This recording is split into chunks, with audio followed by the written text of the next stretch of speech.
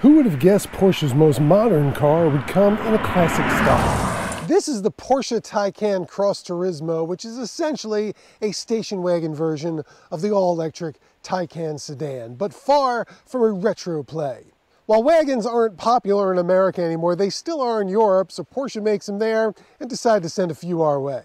This is mechanically the same as the sedan and available in four all-wheel drive models ranging in price from $95,000 to $190,000 with power ratings from 469 horsepower to 750.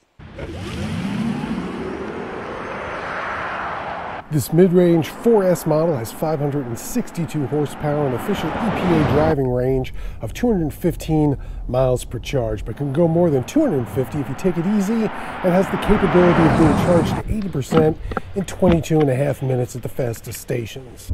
The electric motors give you instant power whenever you need it and without much noise, unless you engage what I call Tron mode, which pumps this digital motor soundtrack into the cabin. That's pretty cool for a minute, but quickly gets about as old as that movie.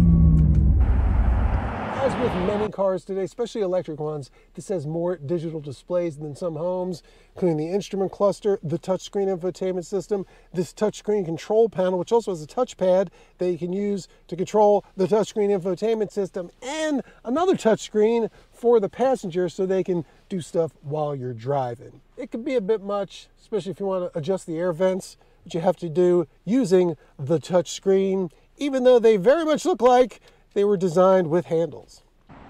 The steering feels a little artificial, but the ride and handling are unreal. This thing corners as flat as a pancake with more grip than I have on reality. This isn't all about performance. It's as smooth as any car I can recall thanks to a combination of adaptive shocks and air springs that can also do something else pretty cool.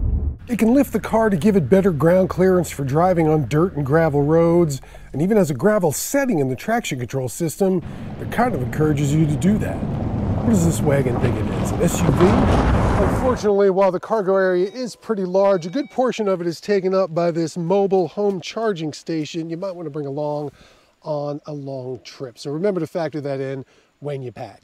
Either that or put it in the frunk. In the 2021 Porsche Taycan Cross Turismo, Gary Gastelu, Fox.